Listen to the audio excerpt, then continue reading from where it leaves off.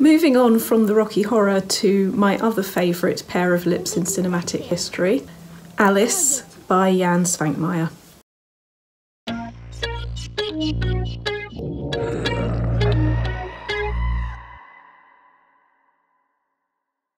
I have never been greatly impressed by body horror and gore, either emotionally or artistically.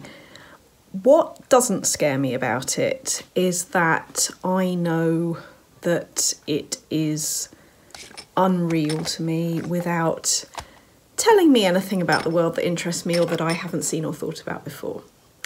Which is why it's very interesting that one of the most horrific images I have ever been exposed to, to my mind, is the rabbit in Alice sewing himself back together. The rabbit is a taxidermy rabbit and he lives at number 23 in a glass case, um, which is a door number you, you later see he also lives at once we're in Alice's dream.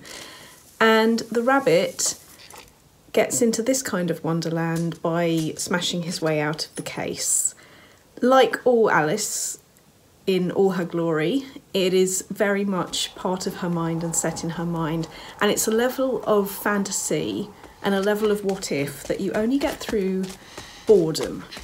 She is bored, like in the story, by her sister reading a book with no pictures in it, and she is left to herself to decide what to do about that. So it follows the Alice that we all know in those ways. And then it takes us to something so wonderfully disturbing that no amount of human beings having bits fall off them has ever done the idea of body horror justice to me. For example, we've got the rat in the trap. The rat, when we first meet him, climbs out of the sea of tears that Alice has cried and starts making a campfire on her head. And he knocks the posts into her skull, and she's quite polite about this because she's a nice butter wouldn't melt little English child who is doing all of the right things in those ways. So pre war, it hurts. And the thing that really upsets her is when it, the rat cuts some of her hair off to make the fire.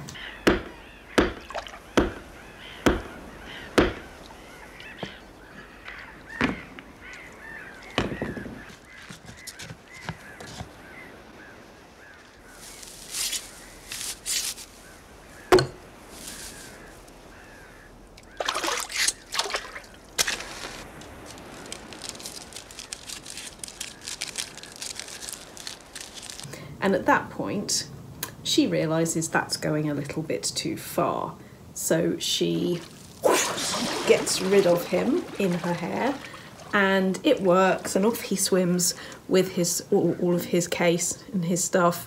And then later on on the journey you see this clothed rat in a perfectly normal mousetrap.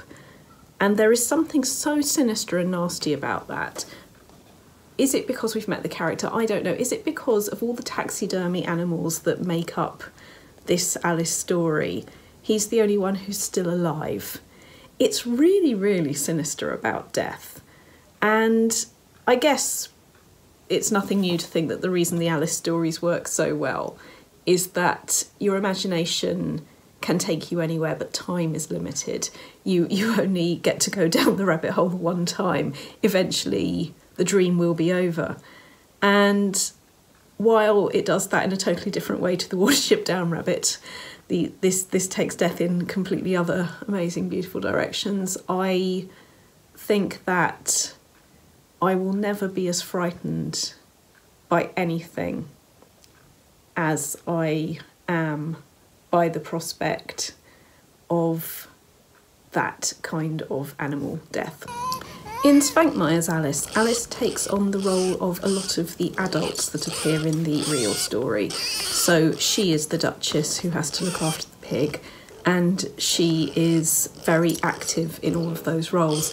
She's also the narrator, and the relationship between the bored child who has had to create this world or, or has daydreamed or, or, or nightmared her way into this world and what's going on is very different in that respect. You're very aware of the narrator. The rituals of the adult world are also particularly sinister in this version of Alice.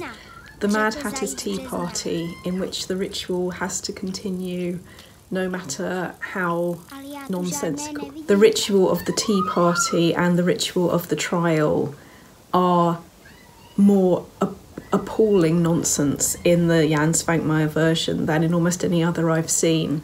And it is the panic that is the result of her transgressing from the script that makes the cards fly in the air, that makes the shouts of no room get stronger.